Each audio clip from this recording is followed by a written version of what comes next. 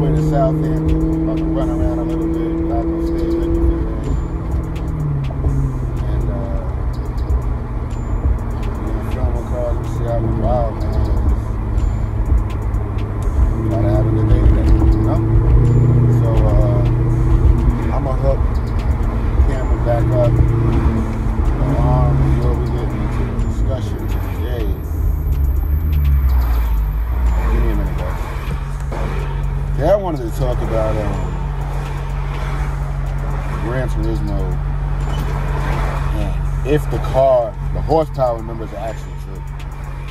Okay, I wanted to talk about today, especially on the MCs and the MC Stradales that are in Europe. I really want to know, and I really want to talk about today the horsepower numbers. Are the horsepower numbers on this car actually true?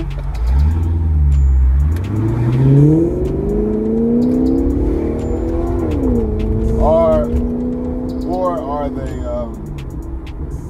or is it just the number? You know, and, uh, maybe the number's actually a little bit higher. You know, so that we're gonna get into today. But I really want to know what you guys think. I have read a comment, somebody's comment. Um,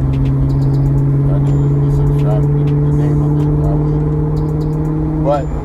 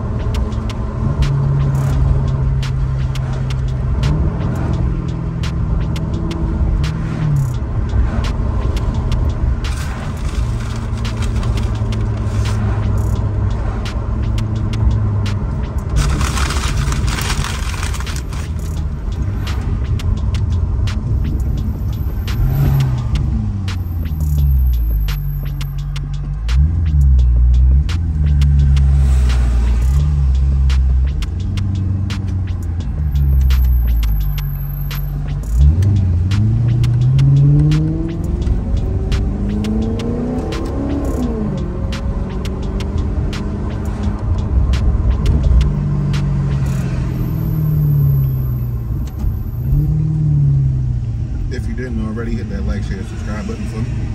Turn on all post notifications.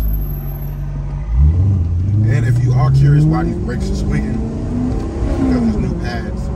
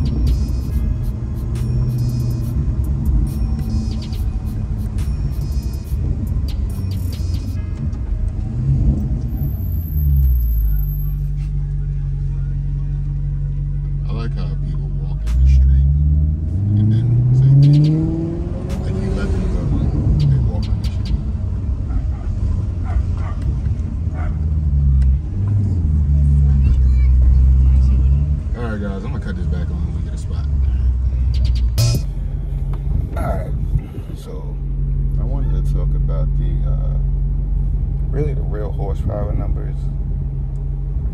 The Grand, well, I wanted to talk about the Grand, yeah, the real horsepower numbers on the Gran Turismo, um, specifically the MCs um, and the, the the Euro MCs and the American MCs because there are differences. I might, you know, yeah, there are, you know, some uh, differences in the MC, the Euro one, and the American one. Um, you know, but more specifically, I wanted to get into the horsepower numbers and if these horsepower numbers are actually true. Um, you know, the uh, there have been other cars, other car manufacturers that have done this. You know, put a horsepower number that wasn't particularly true, you know, just to get the car out into production. But the car was, you know, a lot faster in reality and one put on a dyno, right? So I don't believe I haven't seen any videos, and if anybody has, put the link in the comments. If there's any videos on a Gran Turismo, a MC or MC, the American MC or European MC okay, being on the dyno.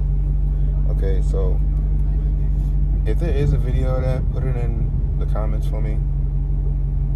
I believe no a dyno one uh, a Gran Turismo that's on an MC, a Gran Turismo MC that's on a dyno that shows the horsepower numbers. Not one that's just filming on a dyno and they never really show the horsepower numbers. I'm talking about one that shows the actual horsepower numbers.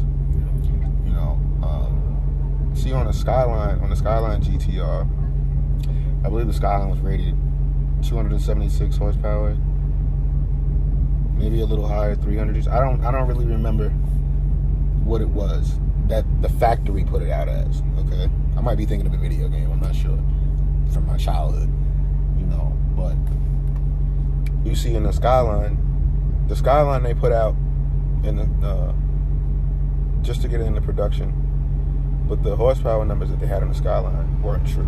All right, so when the Skyline came out, it was rated way lower than what it actually was. There was actually another car like this. Okay, it's the um, an R129 SL, uh, uh, the V8, the 5.0 V8. Okay, so the 5.0 V8 SL.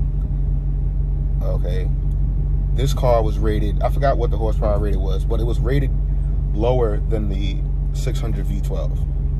Okay, so they can sell 12 cylinder, sell 12 cylinder engines. Um, but the the 5.0 AMG, this is a pre-merger I'm talking about for those who don't know. Um, this car was a lot faster, sounded a lot different. You know, it was a whole total different animal. Okay, they weren't. Nobody really knew the horsepower numbers back then on that car. I don't. I mean, you know, that, those cars are very obscure, but they existed right? And these cars were recognized by Mercedes, you know, so they did have false horsepower numbers uh, coming out of factory and then coming out of AMG. So these cars, cars like this, do actually exist. You know, um, I'm wondering if the Gran Turismo is one of them because it wouldn't make sense for Maserati to tune a Ferrari engine and sell it, it would make no sense. To, it would be if the Maserati was faster than the Ferrari, at when Ferrari owned Maserati, it would be no point to buy a Ferrari. You would just you know stick with a Maserati. You know, but I have to wonder if Maserati really, you know, if if 454, I believe that's what the MC is rated as. If that's the true horsepower number, or if it's not 500, or if it's not 480, 490. You know what I mean? Maybe a five and change. You know what I mean? The, the European Stradale is is a rare car. I would suspect if they were false false horsepower numbers that were coming out of Maserati, it would be on that. It would be on, especially specifically the the two door uh, MC, um, the two door, the two seater MC with the the roll cage in the back. You know, I would suspect that's why I'm bringing up the Euro Stradale. Um, the U.S. Stradale, is quite possible it could have happened with the U.S. Stradale, you know, um, quite possibly, you know, but I do believe that if we're gonna take a look at one, if if, if anybody that has a, a two seater with the roll cage, you know, if you guys want to put it on a dyno and give us a video of it, you know, I would suspect if Maserati did this, okay, which has been done on the Skyline, you know, this is Nissan, this is Mercedes. This is two completely different companies, even though they have worked together, right? So, you know, I'm very curious if Maserati could have did that just to tuck the horsepower numbers to get the Gran Turismo out. You know what I mean? And you know, if anybody figures it out, it's like an Easter egg. You know, but it would be you know really cool to see that. You know, I would like to put this car on a dyno just to see you know um, what kind of horsepower it actually makes. If it's more, you know what I mean. Um, it would be nice if it was. You know, you know I haven't really. This is my introduction into the supercar territory, so I can't really say what you know is fast or not. You know what I'm saying? So I can tell you it sounds good because I've been in other loud cars. You know what I mean? I've know I've I've been in other fast cars and I've been in other cars that you know go fast, but I haven't owned them. You know what I mean? And it's different when you own it. You know what I mean? So you know, and you're driving it and you're living with it. You know what I mean? But I wanted to know. You know, if anybody else has this speculation on the Gran Turismo, is the you know, is the horsepower in the Gran Turismo really what it says on, you know, the spec sheet for the Gran Turismo? or is it you know a little bit more than what they're advertising? You know because it would be it wouldn't be out of the ordinary. You know what i mean? It wouldn't be uh, something that's never been done before. You know this car does have the same engine block okay as the 458 um, and the uh, 8c alfa romeo romeo so I wanted to really. I don't believe that the 8C and and I have to believe that the 8C is coming with a little bit different horsepower, either a little bit more or a little bit less than the 458. I gotta believe that. You know what I mean? I don't know exactly what it is because the car is limited, but I would have to believe that even this car, it has to, you know, it has to come with a little bit more, a little bit less. You know, I don't own an 8C. I don't know anybody who does own an 8C. Those cars are extremely, you know, rare and they're super expensive now. So I would suspect that most of them aren't even being driven like that, you know, because it's so rare, you know, that we'll ever really get to test it out. You know, it'd be nice if somebody would put an 8C on a dyno, you know, and see, and let's see what what's the real horsepower number, you know, on these engines. If we could just, you know, take all three of them you know what I mean? Put them on the dyno and test them, you know, and see uh, what it really is, you know. Um, because, like, even on the forums and, and a lot of re reviews that I've read on the car, on the Gran Turismo, even just the sport, you know, a lot of people said that this car wouldn't pin you back. You know, it, it won't pin you to the seat. And I got to really wonder how you guys are driving the car because I've had people in the passenger seat and pinned them. You know what I mean? Just out of fun. So I really don't know how. I don't know how you guys are driving the car. You know, I will make a video. I do want to do a video on uh, the different driving styles on this car, um, and how you can get different sounds and a different experience out of the car. You know, for me, the car is. Uh, I've been in Porsches, you know, a couple of different Porsches, wide body Porsches that were worked on you know, uh, this car is a very visceral experience. You know, so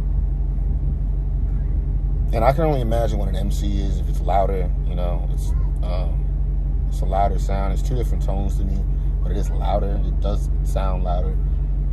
Um, I do think the, the sport sounds better, even from from videos. Okay, in person, I haven't had an MC next to me revving and going crazy on the car. So, you know, but from videos, I will say I think the sport sounds better. Now, I do think the MC, the bumper, the bumpers and the wide body fenders, I love those fenders on the MC.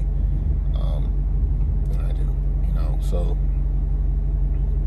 you know, I'm very curious, you know, about the MC, the European MC, MC Stradale you don't see many of them. I'm, and I'm really talking about the ones with, without the rear seats. the ones with the roll cage in the back, okay, with the carbon fiber seats, with the seat belts that come out the center. You know what I mean? Like that's that's the one I'm talking about. You know what I mean? Um, I love that car. I think that car is. I really wish that car. They should have brought the European MC Stradale, the two-seater one with the roll cage should have been brought to America. What Maserati was thinking about not bringing that MC Stradale here, I don't understand. You know what I mean? They brought the one with the four seats. I understand that was cool. You know what I mean? I like it. You know what I mean? But that one with the roll cage is the one. You know what I mean? And I know that's that's that's not those having seatbelts that come out the center of the seat. You know, are not really conducive for everyday driving. But still, you know, we should have had that option. Like we should have really been given that option because I probably would have bought. I, I would have sprung for that, that's it's a nice looking car. I love the seats in that car. I think those seats are beautiful. You know what I mean? Um, I love the way the roll cage looks. I love. I, I really love that car. Know, but I really, uh, you know, I really want to know, guys, if anybody who owns a European MC Stradale, if you ever put it on a dyno, if you ever had a, you know, does the car, if, if you have other supercars, does the car feel faster than what it's advertised at? You know what I mean? Um, because you guys also get the ceramic brake option, which I don't think was offered in America, and you guys get the quicker shifts. Uh, the uh, I forgot what Ferrari transmission. Yeah, well, they put the Ferrari transmission, I believe, in the European the European Stradales. So they, they got a lot more than the, the American ones. You know what I mean? They got more supercar attributes, right? So the ceramic brakes, the quicker uh, the quicker transmission, the race mode that's in the car, the all the carbon fiber bits everywhere, the roll cage, the two seats, the carbon fiber crazy seat backs, the you know the, the seat belts coming out the center, like you know that car is um very. You could tell it's very track orientated. It's not a daily driver, you know, but it's a beautiful car, you know. Um, if, but if anybody has a European MC Stradale and you have other supercars, does that car feel faster? Does that car, you know, than than, than advertised? Does it sound faster? You know, does it pull? If you ever drove a sport in that MC, the European one, does do they really? Do they only feel like they're 20 horsepower? Like there's only a 20 horsepower difference, or does it feel greater?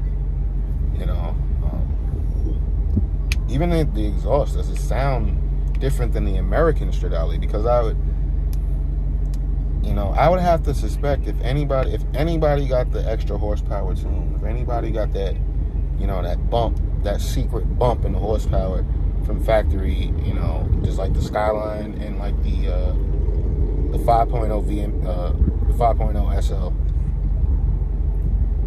you know, is uh, I would have to suspect it would be the European one first, even before the American one, you know, because of those two seats, and I would have to suspect it would be in that in that range, especially of the MCs that were only made with the two seats in them, and not just the four the four seat the four seater ones, which came out a little bit after, I believe, in Europe.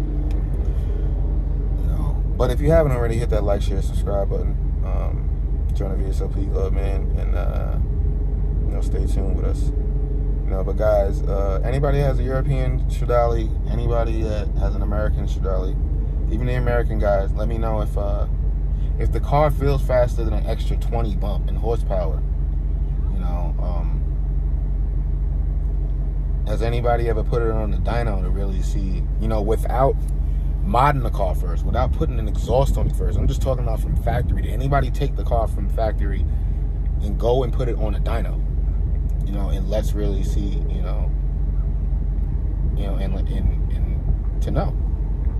You know, because I want to know. I'm very curious about this car. And, you know, the engine that's in it. Ferrari, they uh they very much they they make a lot of different engines and they made engines for different manufacturers you know that have uh you know they they so i'm very curious even like the the the base you know is the base only for for i forgot how many how much it is for low fours you know but is it is that actually it? Like, are these cars actually even tunable you know, after the fact. You know, can we, what can we change in this car that either hasn't been done yet, hasn't been thought about?